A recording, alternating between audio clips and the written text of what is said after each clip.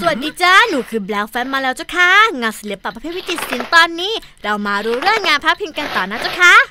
เมื่อคนเราคิดวิธีพิมพ์ภาพหรือตัวอักษรออกมาเหมือนเหมือนกันเป็นจำนวนมากๆได้ จากภาพที่เป็นต้นแบบเพียงภาพเดียว นับเป็นการเปลี่ยนแปลงสังคมในทุกด้านเลยทีเดียว เพราะการพิมพ์สามารถทำได้รวดเร็วและถูกต้องเหมือนต้นแบบเดิมไม่ผิดเพี้ยนเจ๋งไหมล่ะ ปัจจุบันการพิมพ์ที่พวกเราคุ้นเคยมีมากมายอย่างที่เห็น เป็นไง เลิศไหมล่ะเจ้าค่ะ